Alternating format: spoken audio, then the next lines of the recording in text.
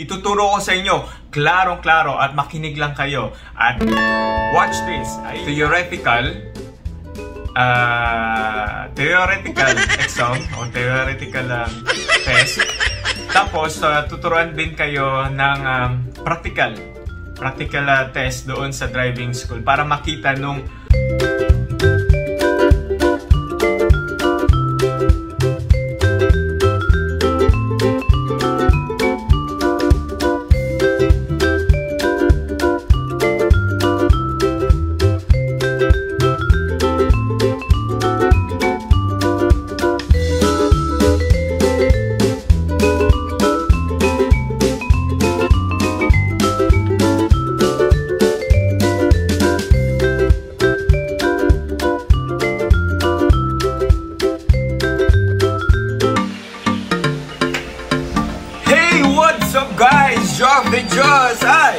Finally, nakahit na tayo ng first million natin! Ayan! Ayan, what's up, what's up? For today's vlog, ay, ah, ayan, ituturo ko sa inyo at ah, bibigyan ko kayo ng mga tips kung paano mapabilis ang pagkuha nyo ng driver's license dito sa Kingdom of Saudi Arabia. Ayan, wag na natin patagalin. Ito na ang step by step kung paano makakuha ba ng driver's license. Kung kayo ba ay ah, struggle din sa mga panahong ito at ah, hindi nyo alam kung paano makakuha ng driver's license sa Kingdom of Saudi Arabia, ituturo ko sa inyo, klarong-klaro at makinig lang kayo. At watch this. Ayan, ito ang step by step.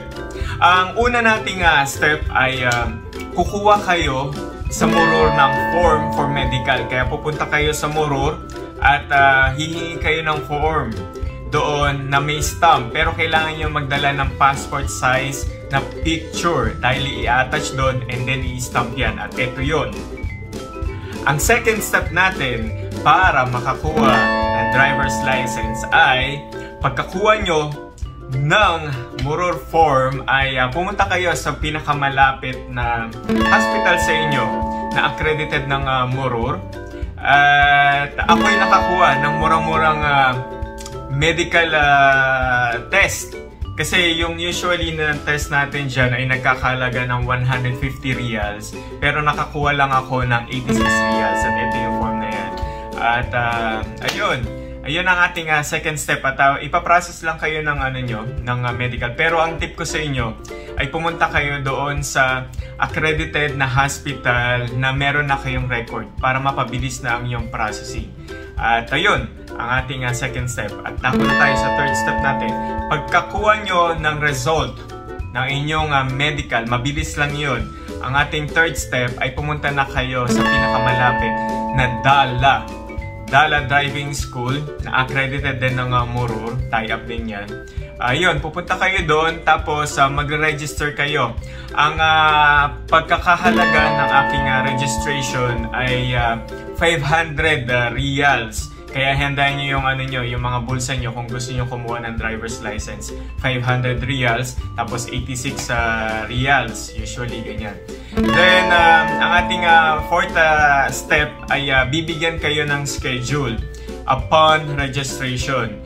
Usually, magbibigay sila kung uh, ano na yung uh, succeeding na ilan na yung mga students na tuturuan nila. Kaya antabi lang kayo doon sa schedule na yun, bibigyan kayo doon. At after nun, pagkapunta nyo sa driving uh, school, at ito na ang ating uh, step 5. Ang step 5 natin, tuturuan kayo sa driving school ng theoretical uh, theoretical exam o theoretical um, test. Tapos, uh, tuturuan din kayo ng um, practical practical uh, test doon sa driving school para makita nung um, driver o yung instructor na kung marunong ba kayo o knowledgeable na ba kayo mag-drive. Pero ang aking tip, bago kayo mag-start sa driving school, kailangan knowledgeable na kayo mag-drive dahil ang ibibigay sa inyo, ang pinaka-minimum days ng driving school ay 5 days. 5 days, ang sunod niyan ay 10 days. Ang sunod niya ay um, 15 days and 20 days ang uh, maximum niyan. Kaya na sa inyo yan, kung gusto niyo mapabilis ang inyong pagkapasa at pagkakuha ng driver's license, ay kailangan ready na kayo at prepared na kayo para doon sa driving school. At yan, ang limang hakbang para makapakuha ng driver's license dito sa Kingdom of Saudi Arabia. At uh, pag nakapasa na kayo sa driving school, bibigyan naman na kayo ng tatak niyan para doon sa final exam nyo for scheduling na yon. Kaya diba napakadali lang at napakabilis lang. Ayan lang ang 5 steps natin. Ito sila. Ayan, pagkakuha nyo doon sa Moror ng form for medical, punta kayo ng uh, clinic or hospital na pinakamalapit sa inyo or accredited ng uh, uh, company nyo. Then, uh, ang ating uh, third step ay punta kayo sa driving uh, school. At ayun, sunod-sunod na yan. At uh, good luck! At nawa ay uh, nasihan kayo sa aking uh, mga tips para pagkuha ng driver sa license.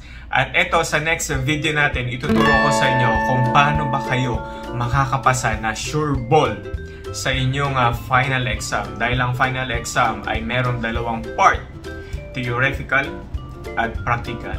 Kaya watch nyo ang next video na to. O yan, dito yung pala yan lalabas. Ayan. Ayan, what's Watch up, yan, what's ha? up, Job? The Diyos ay Ayun. nandito ngayon Ayan, don't forget to like, share, and subscribe kung gusto nyo pang magkaroon ng notifications pag upload ko ng uh, video. At nawa, nakatulong ako sa inyo mga kabayan, lalong-lalo na dito sa Kingdom of Saudi Arabia. Ako si Joff de Diyos, sa muli nagsasabi na every gising is a blessing. Kaya continue to be a channel of blessings. Shalom!